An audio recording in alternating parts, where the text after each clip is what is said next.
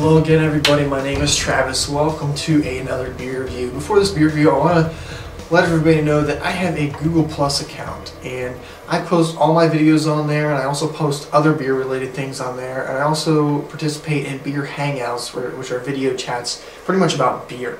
So if you haven't added my Google Plus, I'll go ahead and put it on the uh, on screen here. Go ahead and add me on Google Plus, Cheer Beers. It's the same thing. Um, look me up and I'll post all my videos on there. I'll keep you updated. If I can't post a video, I'll let you know. If I'm if I have something big coming up, I'll let you know. So I'll, it's a better way to keep updated on what I'm doing with my channel. Google Plus, um, check it out. And tonight, guys, we're looking at a yearly release from Sierra Nevada. It is Bigfoot their barley wine. This is the 2012 version, just came out very recently, within a month ago, I would say. And uh, so this is a very fresh batch. I've had the 2011, I've had the 2010. Haven't reviewed them on a video, but uh, I've, I've had them before. Um, big things from this beer. This beer is a super reasonable barley wine. And a very interesting thing about this beer, um, I'll tell you guys about later. But let's get into the Sierra Nevada Bigfoot.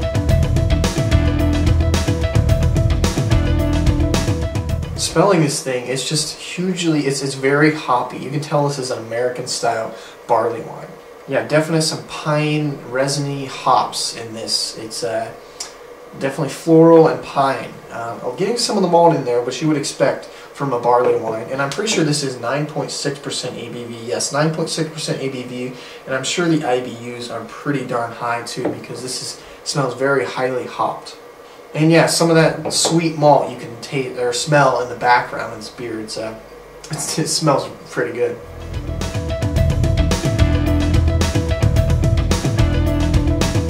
Here we go. Cheers, guys. Let's see what we got. Wow, there's a lot going on in that.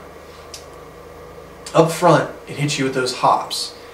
Um, you taste the pineness, then the middle of the mouth, you're getting a sweet caramel, big malt taste. And at the very end, it's very bitter. So it's almost three layers of taste as you're drinking this beer. Yeah, definitely a, a good taste. Yeah, like I said, it's, it's that you do get a lot of those pine hops. You get a lot of the malt.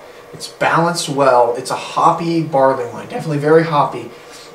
And then it comes at, at the end, you get the bitterness um, and you get the malt at the end. So it's it's kind of it's I think it's pretty well balanced between the both. It's it's bitter, but the malt is there as well. I think it's leaving a lot of bitterness on your tongue, which might make this not so drinkable. But it's definitely uh, very good tasting. And let me give you one quick note before I head to my final thoughts, my rating. This went up in price this year. I saw it for $14.99 a six pack at my local beer store. And I asked the guy, he said, yeah, well, you know, I got the first case and the second case went up in price. And I was thinking, fourteen ninety nine. Wow, you know, that's that's two dollars above what I, what last year's was.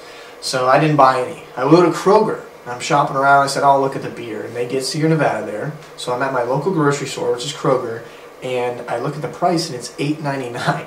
And I take it up, and it scans eight ninety nine. So I picked up a six pack of this for eight ninety nine. I just checked a month later, or maybe not a month later, a couple weeks later from when I bought this, and it's still $8.99. So I will probably pick some more of this up. Definitely a steal for $8.99. If you can pick it up for that price, I would. But guys, let me sip on this, maybe let it warm up a bit, and see what my final thoughts and my rating are on the Bigfoot barley wine from Sierra Nevada.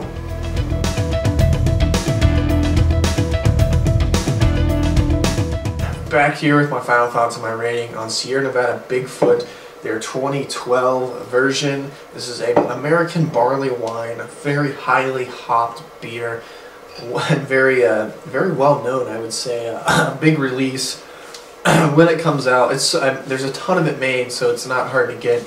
Um, but definitely pick it up if you can. For me, this is almost a great example of an American style IPA, but better. you know, it's it's got this huge amount of hops and hop bitterness that I love about it. Also with some sweet malt. As it warmed up and as I drank it more, the malt came out um, more than the hops. You got a lot of the sweet caramel malts in it. Um, definitely a good taste though. This one, this one for me, I'm teetering on an 8 and a 9. I think I'm going to go with a, I think I'm gonna go with a nine on this one. It's just really good. I love the hops they use. I love the balance between the hops and the malt. It just tastes really good, and um, I could drink these. You know, I could drink plenty of these. I guess you would say 9.6% ABV. That's pushing it, but um, the taste is just good, and I, I'm I'm love to have these. And I think a, a big factor is in you can cellar barley wines, so you can cellar this beer and see how it changes year to year. So I have two, I have three 2011 sitting in my fridge right now. I'm probably going to keep some of these 2012s and try to get my hand on some 2010s and do a, a vertical tasting of these beers. Uh, one thing I would like to mention is if you're new into beer and you see this at the grocery or you see this at the store, I would be hesitant to buy it. If you can get a single of it, maybe pick it up, but it's definitely not a beer for new beer drinkers. You got to kind of work your way into this one. But once you are at that at the point where you can enjoy this, it is a great beer. So it gets a 9 out of 10 on uh, the new scale for Cheer to Beers, and it's a very, very solid, very good barley wine. Pick it up if you can. If you've had it, let me know. Comment, rate, and subscribe. Check out my Google Plus, and until next time, cheers.